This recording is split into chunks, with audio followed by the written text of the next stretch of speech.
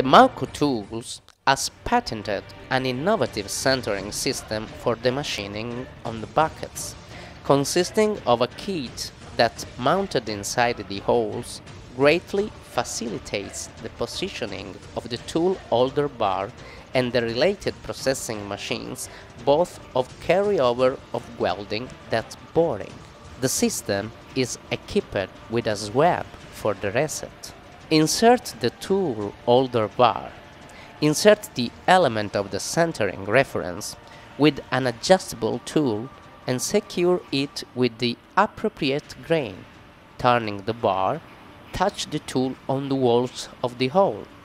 Looking for the center by turning the bar with the hands and turning the screws of the radial shift. Perform the centering trying to be as accurate as possible.